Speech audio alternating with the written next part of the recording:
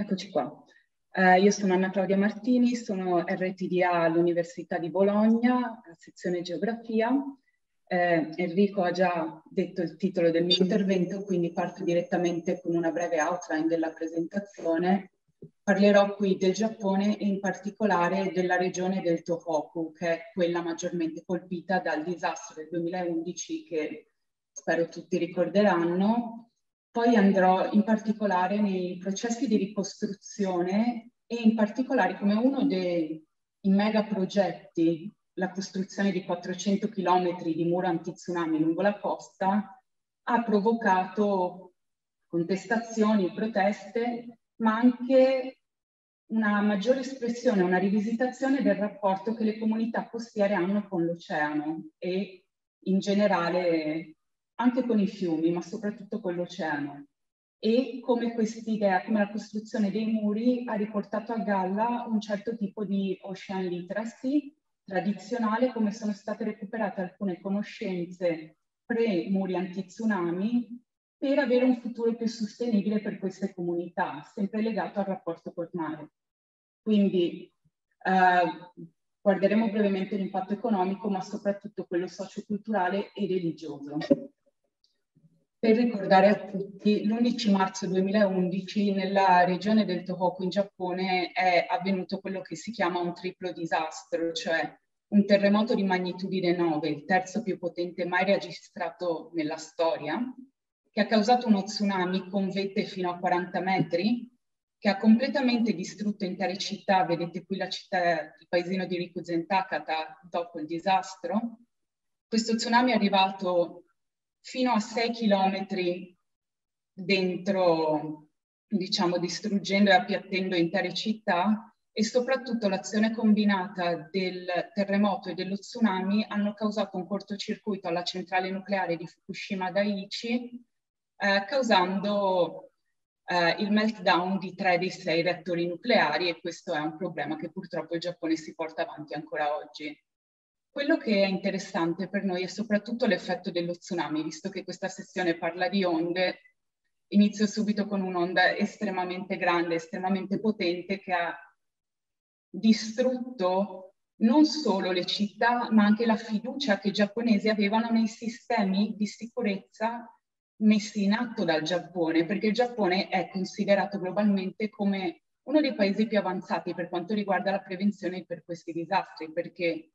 stando all'incrocio di due faglie, eh, sono molto abituati a eventi come terremoti e tsunami. Quindi l'inefficienza di questi sistemi ha colto tutti di sorpresa. In primis i sistemi di allarme, ma anche i breakwaters, le dighe, le dighe sui fiumi e i muri anti-tsunami che sono stati spazzati via e che hanno contribuito alla morte di oltre 15.000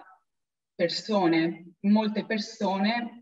sono chiaramente morte annegate, ma altre anche colpite dai detriti di questi muri anti-tsunami, perché le onde dello tsunami non si tratta di un'onda unica, ma di diverse onde che vanno avanti e indietro e che per giorni hanno colpito queste comunità. In più i muri preesistenti hanno contribuito a non far uscire l'acqua, a non farla tornare verso il mare e hanno trattenu- l'hanno trattenuta nelle città, ulteriormente peggiorando la situazione. Dopo questo disastro, questa è brevemente una mappa delle, del Giappone e delle zone colpite che sono quelle rosa scuro. Ho segnato alcune città, così per darvi un'idea di dove sono localizzate, che sono le città eh, dove ho intervistato persone di cui vedremo le esperienze dopo. L'11 marzo, eh, qua potete vedere uno dei centri di evacuazione o quello che ne rimane, Purtroppo lo tsunami è stato così alto e i sistemi di allarme giapponesi non, danno, non rilevano tsunami e mandano un allarme solo per 8 o più metri, non dando una specifica di quanti questi più metri siano. Quindi uno dei problemi più grandi è stato che molti giapponesi hanno ricevuto questo allarme di 8 più metri di tsunami e di fronte a muri anti-tsunami che vanno dagli 8 ai 10 metri hanno pensato che non fosse necessario evacuare anche a fronte di eh, questi allarmi e della richiesta di evacuare o hanno evacuato in centri di evacuazione che non erano pronti per gestire un'onda così alta. In questo centro sono morte più di 100 persone che avevano seguito le indicazioni governative e si erano messe a riparo nel centro appropriato. Quindi questo è uno dei grandi problemi iniziali che i muri anti-tsunami che già esistevano e che già erano in atto non solo si sono rivelati inefficaci perché sono stati distrutti dallo tsunami, ma hanno anche creato un senso di falsa sicurezza rispetto agli tsunami che possono avvenire, rispetto alla potenza che l'oceano può avere in queste aree. E molti sostengono che i muri anti-tsunami abbiano causato più morti dello tsunami stesso perché c'è stato 40 minuti sono stati 40 minuti di tempo affinché queste persone potessero evacuare, ma no, hanno deciso di non farlo. Dopo il 2011 il Tohoku ha vissuto dei momenti di, di recupero di recovery, uno a breve termine che riguarda le case temporanee, sono state situazioni molto complesse, molte persone sono state in case temporanee molto più a lungo di quello che era stato previsto, Uh, in queste zone rurali molto anche isolate dal resto del Giappone si sono accelerati i processi di depopolamento, perdita di lavoro e dissoluzione dei legami comunitari perché queste comunità messe in case temporanee sono state divise, sono state spostate. E molti non sono mai tornati nel loro paese o nel vicinato in cui erano all'inizio, perché le case nuove sono state assegnate tramite lotteria casuale. Quindi le comunità non avevano la possibilità di scegliere dove venivano portate.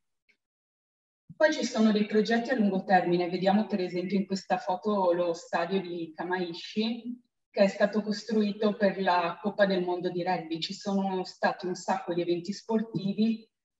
Purtroppo ricordiamo le Olimpiadi di Tokyo che, di questa estate, che sono stati venduti, marketizzati dal Giappone come Recovery Olympics o anche Rugby World Cup è stata pubblicizzata come un evento che mostra come questi paesi si sono ripresi.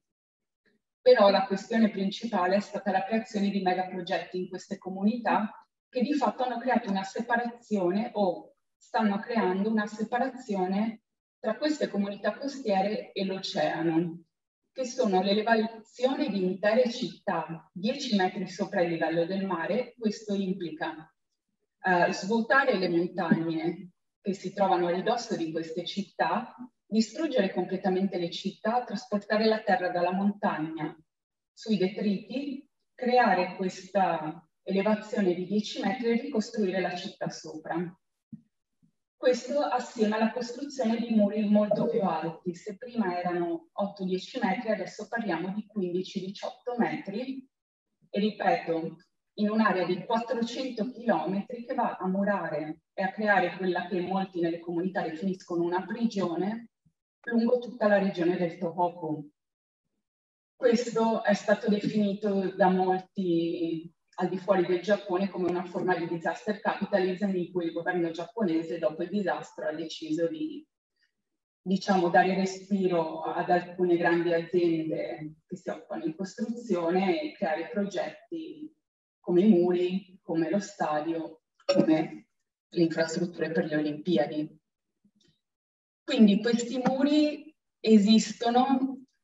uh, e hanno causato molte tensioni e molte contestazioni. Le comunità non li vogliono, ma non gli è mai stato chiesto se i muri potevano essere costruiti o no. Nel 2014 il governo centrale di Tokyo ha deciso uh, che i muri andavano costruiti. Nonostante molta, molta parte della comunità scientifica non giapponese abbia espresso forti dubbi riguardo all'efficacia di questi muri, sia per come abbiamo detto l'idea più psicologica che questi muri possono causare un senso di falsa sicurezza e far sì che le persone, quando succederà un nuovo disastro, decidano di non evacuare o non evacuare in tempo, sia da un punto di vista fisico, se succede di nuovo uno tsunami di 40 metri, niente fa pensare che anche un muro di 18 metri possa reggerlo. Quindi questo questi dubbi che sono stati espressi dalle comunità, prima con calma e poi con forti proteste, che vanno tuttora avanti, non sono stati... Scusa, Anna Claudia, hai due minuti ancora. Certo, allora salto un po'. Non sono stati accettati dal governo e hanno causato l'idea che la comunità sia stata chiusa in una prigione e in più lentamente la paura che questo possa causare una perdita dell'ocean literacy, literacy e del rapporto col mare. Questo rapporto col mare, quindi salta un po' di cose, è un rapporto che i giapponesi, che queste comunità costiere vogliono. Quello che stanno rivendicando è un diritto alla vulnerabilità e all'essere vulnerabili e quindi a avere alternative ai muri che siano più sostenibili e che permettano di mantenere un rapporto diretto col mare, che per loro è fonte di sostentamento, ma anche fa parte della loro religione. Lo shintoismo, che è la religione autoctona giapponese, vede il mare come un essere senziente. Tutti i rituali più importanti in Giappone, soprattutto nelle aree costiere, vengono fatti in mare. Qua vedete il rito dell'Oboni in cui alcune lanterne vengono messe in mare per onorare i morti e ad esempio molti lamentano il fatto che questi rituali non potranno più avvenire perché implicano il trasporto di una portantina di solito dal tempio principale all'oceano, ma se c'è un muro in mezzo questo non si può fare, quindi c'è una dissoluzione di questo rapporto religioso, ma anche una separazione sociale dall'oceano e dal tessuto sociale di queste comunità che ha l'oceano come entità, entità non umana ma sempre presente in tutte le loro pratiche. Quindi questo no, vorrei chiudere con una nota positiva. Il muro è inevitabile e verrà costruito, ma ciò che ha dato di positivo è la creazione e il recupero di conoscenze precedenti, che a volte sono state unite al muro a causa delle pesanti proteste, come ad esempio le foreste, che sono state do, costruite oltre i muri per dare una sorta, un senso estetico a questi muri, un senso estetico maggiore, ma anche come eh, secondo punto di difesa,